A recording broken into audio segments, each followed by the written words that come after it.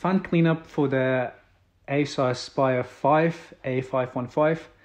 Um, in order to do that, uh, simply remove all the screws from the bottom. Um, remove the cover for the RAM, remove the cover for the hard drive, and pretty much every screw that you can see from the bottom. And simply uh, lift up the bottom um, cover by any way you can. It's just, yeah, get a bit of leverage and lift it up like that. This is heatsink. Remove all the screws from the heatsinks because we also want to replace the thermal paste, not just clean up the fan.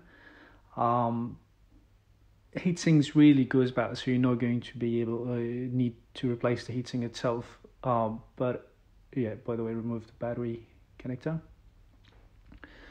So this remove all the screws from the heatsinks. Um, remove the two screws that holding the fan in place, and disconnect the cable. With the cable, just be careful.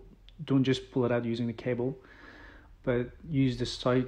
Just wiggle them side to side till it comes off because a lot of time you just snap it so once that's done lift it up and as you can see it's pretty nasty dirty not really bad as a lot of other lottos I've seen before but yeah so yeah just clean it up um, get a bit of a tissue or brush I forgot to brush it up but you can also use a toothbrush that you have lying around that you don't use and brush it with that because these debris, these uh, dust and stuff that sort of blocks the vents that doesn't let your heat to exit the system.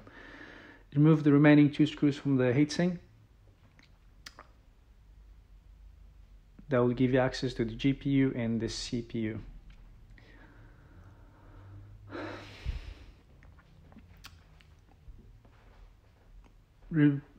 Clean up the the room uh, the old thermal paste from the heatsink. Uh, yeah, because it, it dries out and doesn't give a good connectivity to the thermal paste, to the to the to the parts. So clean that, clean the CPU. That's your CPU. Give it a good clean up, and clean up the GPU. That's your GPU. With the uh, paste, you can buy them for a buck or two on eBay, but the one I have, um, I have uh, I have.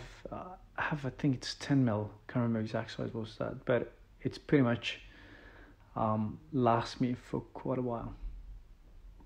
This one, um, apply the new thermal paste and just spit it out. Um, and also apply the same thermal paste on GPU. It's always a good idea to replace thermal paste once in a while because as I said, the old GPU, the old thermal paste kind of dries out and dry thermal paste is never a good idea. Once you've done that, the procedure for putting back in uh, together is the same in reverse and um, yeah, just want to save some time and just do that. All right, any questions you can ask in the comments below. Have a good day. Cheers.